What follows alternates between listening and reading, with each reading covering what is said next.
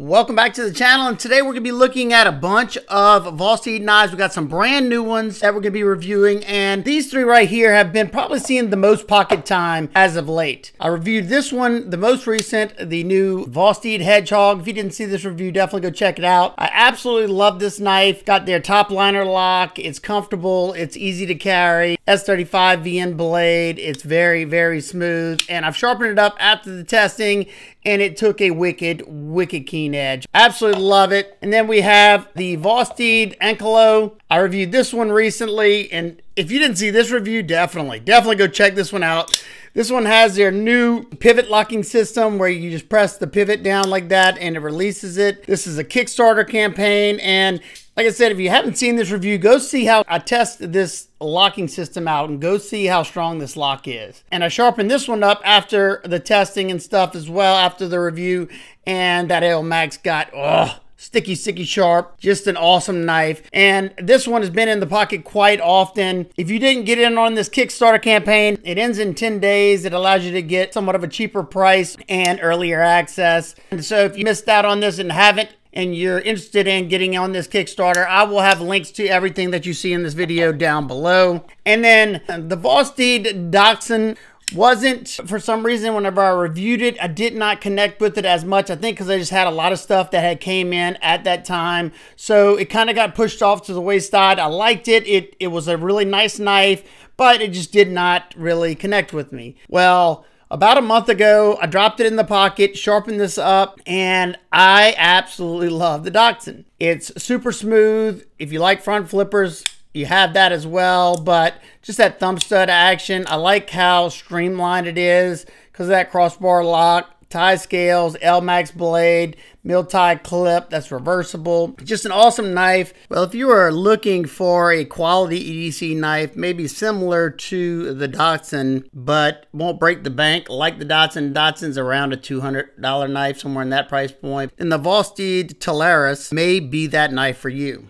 This is a brand new model for Vosteed, and I almost did not give this knife a chance because it has a thumb disc. I'm not usually a fan of thumb disc, and I think it's because Emerson knives kind of ruined that for me. They're just uncomfortable for my hands. But I'm definitely glad I gave this a shot, and I'll tell you why later on. But here we have a knife that is a good size for EDC at 7.18 inches long. And it has a 3.03 inch modified sheep's foot blade of 14C28N stainless steel. One of my favorite budget steels because it's such a good balance of edge retention, toughness, corrosion resistance. And because of its very fine grain structure, man, it gets ridiculously, ridiculously sharp. And Vosteed does a good job with their heat treat and they Rockwell these from 60 to 62, right where you want 14C to be on that upper end. This is going to be an excellent utility blade shape. You have just a very slight bit of belly, and that tip is going to be very easy to control. We did some fine precision cutting and it, it, works really really well that's why this is such a good utility shape and of course this is a Vosteed so it came ridiculously sharp out of box and even though this is going to be the best at utility cuts, it's still going to be fairly versatile because, like I said, it has a very slight belly on it. So you should still be able to do some cutting on a flat cutting surface. The drag cuts are going to be your easiest, but you know, when you're doing downward cuts, you can do it in a pinch grip and you still get some of that edge down onto your cutting surface, depending on what you're cutting. It performed really, really nice on everything that I did with it. I like the amount of aggression this 14C edge had on it. It was slicing very, very well with everything I did. This one has a satin finish, so during the tubing, I didn't have any friction with a coating or anything. It passed through the tubing great, just like the dense cardboard, all that stuff really, really well. And being that you don't have any crazy belly like you would on, say, a Bowie shaped blade or something like that, in hand cuts, cardboard, absolutely no problem. Not to mention, this one has a nice flat grind that comes down nice and thin. Vosteed does a good job with thinning out their flat grinds, at least on majority of their folders. On the Talaris, the flat grind comes down to 15 to 16 thousandths behind the edge. So really nice slicer, you know, passed through the cardboard effortlessly. And it did a really, really good job with holding its edge all the way to the last thing I cut. I'll tell you what, during the sisal rope cutting, I decided I want to push this one a little bit further than I usually do with the 14C knives. I'm not really trying to prove edge retention. I just want to make sure the heat treat on it's proper. I don't have any crazy chipping going on, rolling or anything like that. And it holds its edge as long as it should hold it. I'm not counting how many feet of cardboard. Uh, even though I do count the sisal rope cuts, that's just a ballpark for me to know because I know, you know, 14C factory edge, as long as it's a decent factory edge, usually I can cut about 100 cuts and then the edge is kind of rough after that. But I usually stop at around 60, 80, depending on how long of a piece I cut. Well, this one I cut a little bit longer of a piece and we got through 150 cuts and it was absolutely blowing through the, the sisal rope. I did a very, very good job there, and I felt the edge after all that, and the edge still feels nice and sharp. I, I definitely believe I could just drop this back to about where it was. In the ergos department, the handle was nice and comfortable. These are G10 scales. They have a very nice contour on them. There's no sharp spots, and it's a fairly neutral handle. You have one small choil area that I can either choke back or if I want, I can creep up on this spot right here and choke up. And both of them are nice and comfortable. If you choke up, you can get right up to that edge if you need to do a controlled cut. Or if you rather to be a little safer, you can go back to that choil. Now, when I'm holding it back to that choil, the comfort level is okay, but I can kind of feel the top part of that pocket clip when I'm choked back like this. But in this choke up spot, it was very, very comfortable. It felt like I could get a lot of power into the cut. And being that I was choked up, I didn't have to worry about getting hung up up in that sharpening choil area or anything. That thumb disc stayed out of the way of all the cuts that I made. All the grips are pretty darn comfortable with this knife, like I said, because you don't have super crazy choil besides this one, and maybe you could consider this as a forward choil area. This knife, I'd say, is probably more suited for people with medium, maybe large hands if you're going to choke up right here, but you're kind of pushing it. It's, it's a smaller knife especially compared to the Dachshund. Like I said, the edge still feels good. We made 150 cuts to test by that tip also. Not bad. Now, it's definitely not as sharp as it was when I first got it, but I don't expect it to. Okay, we're going to... Got a little, maybe a very minor hang up whenever I cut really slow, but that's to be expected, especially by that tip because I did my normal, you know, cutting up there with the rope and stuff. But then I also did that uh, fine precision cutting with that tip area and it's still, you know, pretty nice and sharp. Now that we move to the action department, and like I said, the thumb disc at first kind of turned me off because I'm not really a fan of thumb disc, but this one is like an oversized thumb disc, and it's I'm guessing it's aluminum, and it's got a chamfer at the bottom, so it's not sharp, but you do have some texture on there. So it's pretty comfortable for me to thumb flick it. Uh, reverse flick is very, very easy, and you can also use that crossbar to deploy the knife. You can easily slow roll it, and of course, it's easy to manipulate left-handed also, and being that you have that crossbar lock is totally ambidextrous.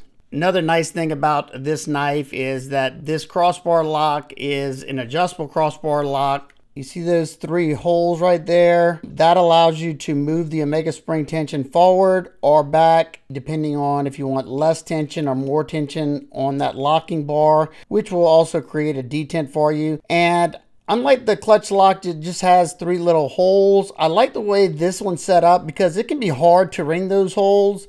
And the way that Vosteed has it done, you can just slide it in that area and pull it up makes it way way easier to get it in the one that you want it to be in. So and i like having that option. Now to the handle area my particular knife has this ivory g10 now it's not like you know super super white. You can see how it has like like a grayish hue, hue to it. So it's not as bad as just plain old white. It hasn't gotten super dirty and I've carried this a good bit, but if you do get it dirty and it turns all nasty looking, you can easily wash this with soap and water and then oil it back up. It'll be good as new. If this white isn't your thing, they have a satin version with a blue micarta, which is probably my favorite. And then they have two versions that have the blacked out blade. They have like an all blacked out one and then one with a black blade and I forget the other color, but there's four different variations to choose from. Here's a shot of what their blue canvas micarta looks like on the Vosteed Corsair.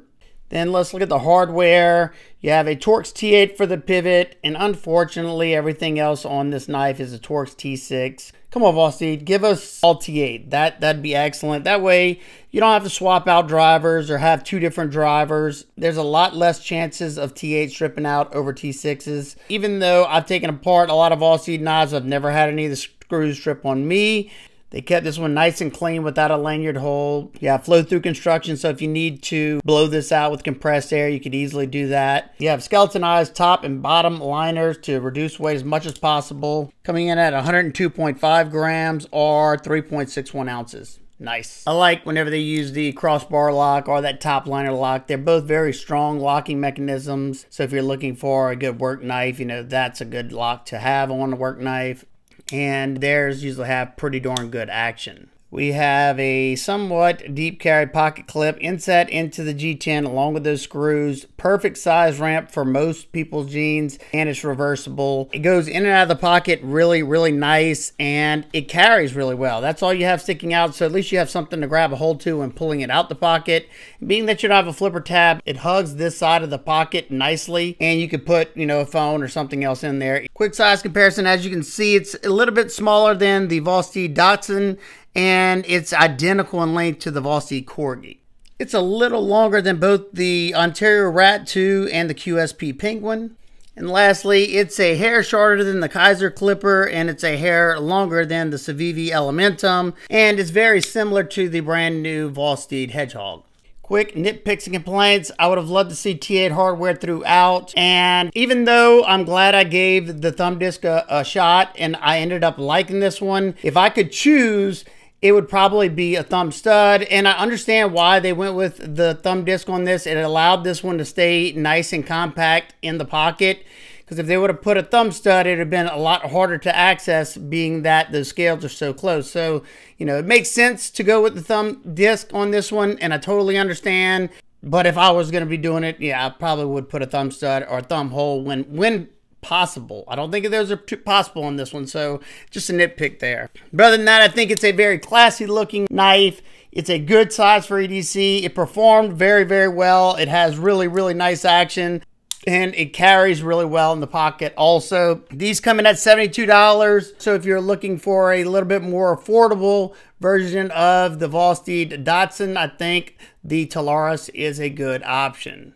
Now we're to talk about the Vosteed Corgi. This has been a very popular model for Vosteed, and for good reason. It's a very easy one to carry. It's very streamlined, and I love how that blade buries into the handle. You have a very fidgety knife as well with the back flipper, and you have the front flipper that works nicely uh, depending on however you want to open the knife and you can also use that button lock to deploy it. This is going to be a very versatile blade shape because you have that low tipped drop point 14C28N blade steel. Well now we have a brand new Corgi and this is the new sheep's foot and I think I like this one even more than the drop point. This one's gonna have a better utility blade shape because you have a lower tip on the sheep's foot. You still have a slight bit of belly to that tip, but not as much as this drop point does. Still 14C. This one is a satin blade with red G10, but they also offer it in the same blue micarta with a satin blade probably my favorite of the versions they have. These are another excellent EDC knife because they're excellent size at 7.17 inches total length. And like I said, because they fold up in a nice compact package, they're very, very easy to carry. Both of these have slicey flat grinds on them. This one's around 15 thousandths behind the edge and the drop point has a higher flat grind so it gets a little bit thinner at 14 thousandths behind the edge. And both knives performed outstanding. I tested the drop point Corgi a while back, but whenever I got this one, I went straight to testing it and it performed really, really nice. I like that blade shape. So even though it's more meant for utility cuts, it's still going to be fairly versatile because that slight belly. You're just not going to get as much of the cutting edge onto that flat surface like you would on a drop point. So if you do a lot of cutting on a flat surface, then this one may be for you. But if you break down a lot of boxes and in in-hand cuts and stuff like that, or if you do a lot of precision cutting,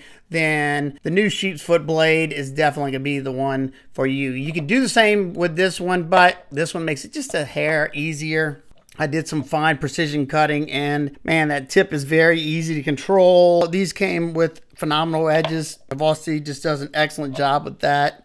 And because of the very neutral handle, it's got like a broomstick style handle, it is very comfortable no matter what grip you're holding it in. Your hammer grip, I'm able to get a lot of force into cuts. It's going to be perfect because of that neutral handle. That is one nice thing about not having any crazy choils or anything. Both of these knives have the titanium plate inlay on them. So if you wanted to anodize that plate, you could. It's on both sides. And these have Vosteed's patented Trek lock. And it's just a locking system that allows for multiple deployments on a button lock. It's just a track basically that they set up in the inside. So you got your back flipper on these and they do have jimping and you have a symmetrical flipper tab on both sides very nice snappy action and then once you release that button it comes falling down and that front flipper works great and I've tested both of these, button lock on them, both of them. Strong button locks. I have not had any of mine fail on me. I'm, I'm, knocking everything. I got I got knives on the side to do comparisons, and they're all sliding forward. So super strong, and because of that locking system, you're able to have a very streamlined pocket knife. When it comes to weight, I don't know if there's any difference, but the drop point is 3.52 ounces and the sheep's foot is 3.62 ounces. So yeah, a little bit of a difference. Definitely not noticeable in the pocket from one knife to the other. I love the meat tenderizer texture they have on the button lock. It's not uncomfortable. They knock the peaks off of it at least. It gives you a good indexing point if you're in the dark and you're trying to figure out where that button is. That definitely gives you some grip too from sliding off on it. And you have a very fine micro milling on these G10 scales, so it offers the perfect amount of grip without being overly grippy or anything. And when it comes to the Corgi, you have very, very minimalistic hardware on this. You have a pivot and one body screw and a backspacer. The pivot and this one body screw, both of those are Torx T8, and the only Torx T6 you have are for the pocket clip screws. I'm totally fine with that because you don't have to remove that unless you're swapping it to lefty. Man, the Talaris carries really, really nicely, but man, does the, the Corgi carry even better because of how streamlined it is. That pocket clip is right down the center, and that's all you have sticking out. Holds it perfect, and that pocket clip stayed out of the way of my palms during all the testing I've did with this one and the drop point. It is inset into that G10 along with those screws, and I, I think that's a perfect amount of ramp, and good tension there. Now, quick nitpicks and complaints. I don't have much on this. I only really have one nitpick, and I, have gotten over it already. I used to get really hung up on this a lot, and I, I think I'm, I'm good with it now. But the blade to handle ratio on both of these is not the best. You can see that tip of that blade, hopefully you can see that, stops about where this pocket clip ends right here. So if you wanted to, that where that screw is, all that could come off. And on the sheep's foot, you can you can probably see it a little bit better. Shine some light in there. You can kind of see it a little bit better. There you go, perfect there. So you have probably about the same. I think it was because they were trying to make this one legal in more areas, especially areas that have three and under blade laws, because this blade falls right underneath that three inch mark at 2.98 inches. So I get it there. Unlike the Talaris, which goes just a hair over that three inch mark. So it's like 3.03 inches long. So if you got a, a mean cop, you know, this one's going to be illegal for you if you have three and under blade loss. So this way you still have a full handle on there for even large, extra large hands because if you choked all the way up like this, I have quite a bit of knife sticking out. So should fit pretty much anybody's hands. So when it comes to choosing that perfect EDC knife, you got to decide, you know, what is important to you. These, in my opinion, are excellent sizes. They're going to be excellent utility blade shapes, and they're going to be fairly versatile because they both have a slight bit of belly on that edge but both of them performed outstanding. They were great slicers, came super sharp out of box, and they both carry exceptionally well. Two very important things when it comes to an EDC knife. Not to mention the ergos are outstanding. This one has a very neutral handle. It's very, very comfortable for my hands. This one as well, and I can choke up on this one if I want. I can without a doubt recommend both of these knives. I absolutely love them. I think they're quality made knives, and I don't think you'll be disappointed, especially if you're looking for something that's nice and slim and sleek in the pocket. If either one of these interests you, I will have them linked down in the description. And I'll try to link some of my favorites as well, like the Ankylo, the Dachshund, the new Hedgehog, and of course, some of my favorites from the very beginning, the Nightshade and the Raccoon. This is the brand new Raccoon with the top liner lock. Man, oh man, is it nice. All of them are outstanding EDC knives. I don't think you'll be disappointed, especially if you like a good performer that carries well. Also, let me know, do you own any Vosteed knives? If so, what is your favorite model from Vosteed? And what do you look for most in a good EDC knife? So there you go. If you have any questions, comments, concerns, please leave those down below. I hope everybody's having an absolute, absolute amazing day. I will see y'all on the next one.